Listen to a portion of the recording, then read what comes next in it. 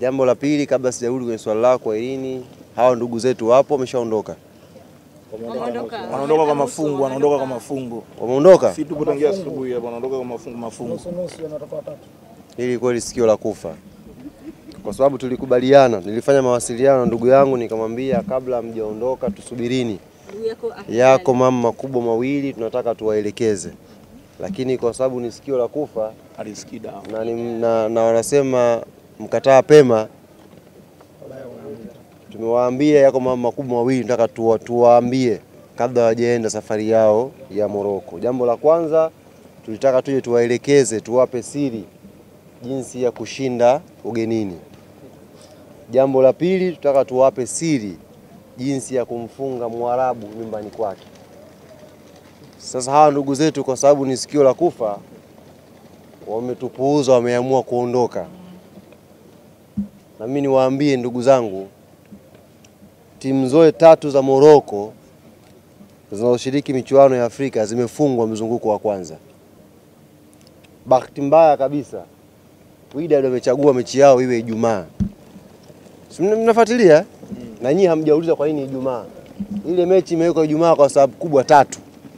Kwanza, Ijumaa ni siku ya ibada pale Casablanca. Mabwana hawa wanataka kufanya ibada ya kumwomba radhi Mwenyezi Mungu kwa matatizo ambayo watamsababishia ndugu yetu. Kwa wanataka kufanya hiyo siku ya ibada. Watanguliza ibada kwanza, watangulize radhi kwa Mwenyezi Mungu, kuomba msamaha, alafu waende wakafanya jambo lao. Jambo la pili, kwa nini mechi imewekwa Ijumaa? Ijumaa kwenye imani ya Kiislamu ndo itakuwa yaumul kiyama, kiyama kitasimama. Kwa mabaya yote ambayo wamefanyiwa wale mabwana, wanataka hawa ndugu zetu wakajifili wameingia kwenye uwanja wa kiyama siku ya Ijumaa. Jambo la tatu na la msingi zaidi, Ijumaa ni siku ya tano katika wiki, kwa maana Jumatatu, Jumanne, Jumatano, Alhamis, Ijumaa, hamsa.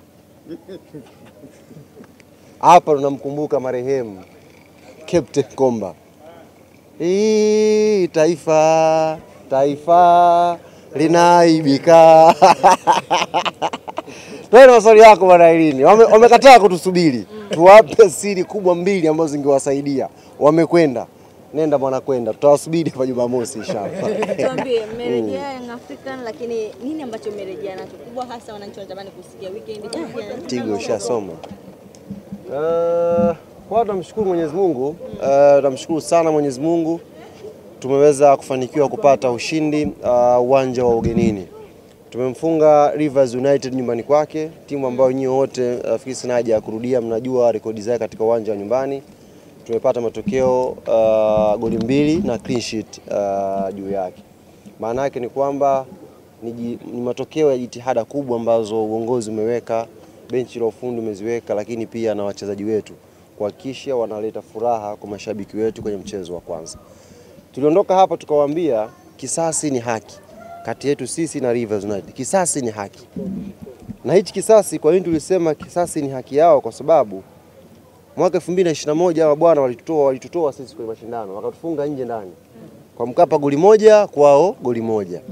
Sisi tumefika Nigeria tumemkanda mbili, maana yake kwenye yale magoli tumeshamalizana naye, hatumdai hatudai, tumeshamalizana. Lakini sasa bado kuna jambo bwana amelishikilia, alivyotufunga sisi alitutoa kwenye mashindano, sisi bado dakika tisini za kumalizana naye, kumuondosha kabisa kwenye mashindano. Sasa hizi ndio za msingi ambazo ningeomba nizungumze na wanachama na mashabiki na wapenzi wa Young Africans.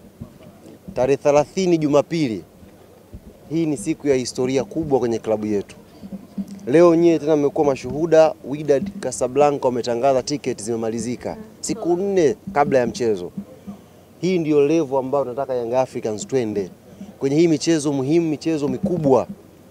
Tiketi zimalizike mapema, uwanja ujae, twende kwenye siku ya kihistoria tumalizane naye kabisa Rivers United, wananchi tuingie nusu fainali kama timu pekee ya Tanzania kwenye hatua hiyo. msimu Msimungunye maneno. Msimu huu timu ya Tanzania itakayocheza nusu fainali ni Yanga peke yake, alafu kuna wengine ni nusu kaputi. Unaelewa mzee? Eh, ni timu gani za nusu fainali? Yanga peke yake, ili wekeni sawa. Kwa hiyo wanachama na mashabiki wa Young Africans, tusipoteze hii nafasi ya Jumapili jamani. tuje kwa wingi Benjamin Mkapa, tujae. Ndugu zetu wamecheza mechi hapa na Wydad, mashabiki walikuwa sio kama kama kumi na ngapi, walikuwa wanatafutana hapa, mliona eh? Sisi tusirudie hiyo aibu. Mchezo wa robo fainali tuwezi kwenda tu mashabiki sijui elfu kumi na ngapi, tukaujaze ule uwanja, tushangilie kwa pamoja, timu yetu iende nusu fainali, tubakie timu nne za mwisho kwenye hatua ya nusu fainali kwenye kombe la shirikisho, sisi Young Africans tukichukua bendera ya Tanzania na kuingia pale.